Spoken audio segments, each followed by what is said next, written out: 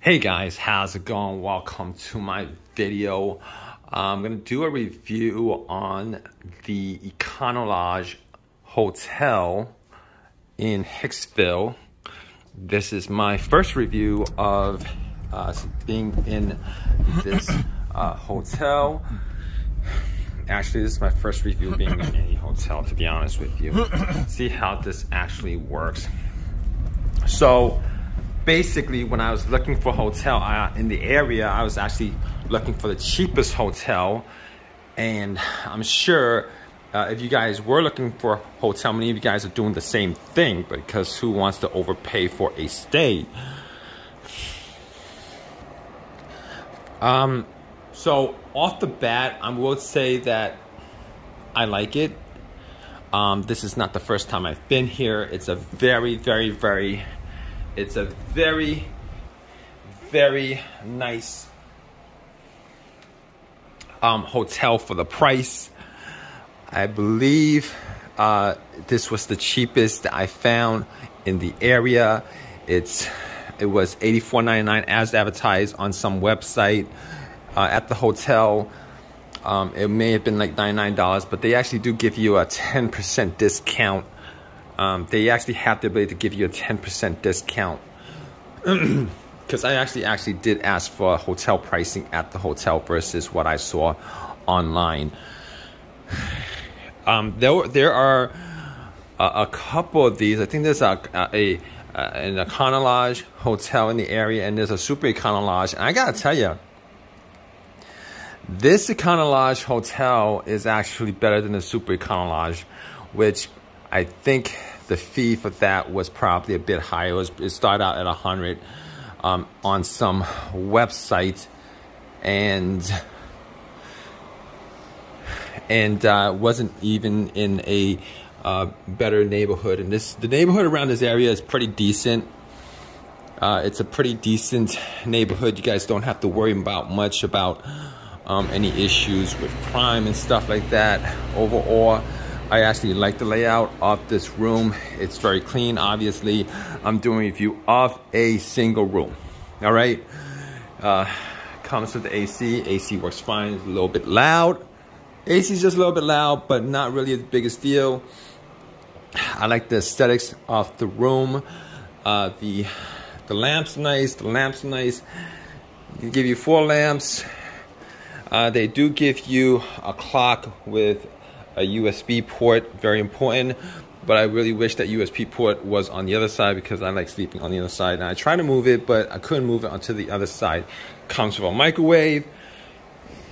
Comes with the coffee maker, which didn't work, which is fine. I don't drink coffee, um, but it didn't work. It actually comes with this um, ice container, and they, there is an ice machine out there, which I was surprised at. Really, really great that there's a ice machine outside. Comes with a refrigerator, and uh, you guys get this refrigerator.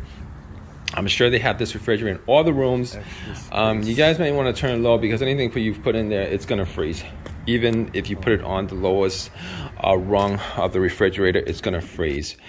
But outside of that, it's great. The uh, housekeeping comes. I've been here for like four days. Housekeeping comes every time I'm out. They change the sheets, they change the towels, they clean the bathroom, and uh, they sweep up. It's really, really nice. Um, the furniture is decent. I don't use the TV much. I'm not much of a TV watcher, more of a YouTube person. Front desk is great. Front desk is great.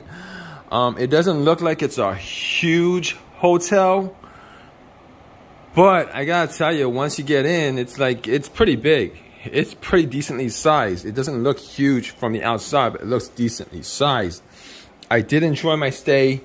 The bed was great. Very, very comfortable bed.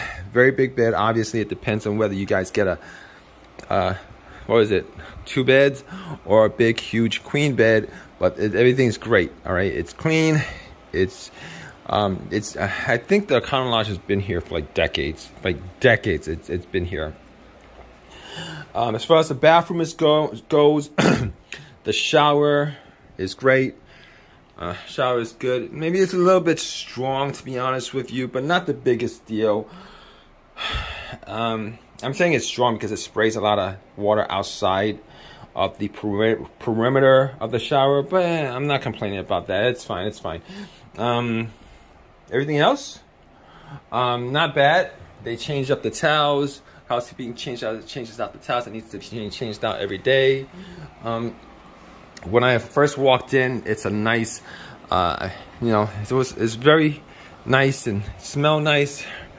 You know, um, it, it, it smelled nice like a hotel room should. Um, the bedding is wonderful.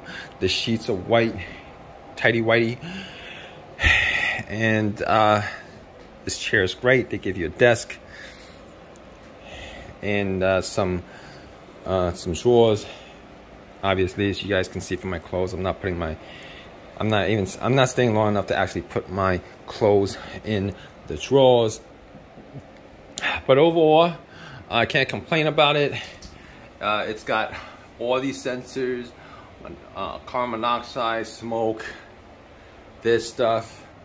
It's got a deadbolt and uh, what you gonna call it. Really important. If you guys are staying at any hotel motel that you guys lock up with a deadbolt and um, on top, whatever that's called. You guys want to drop a comment on what that's called? Definitely like drop a comment, on comment on what it's called.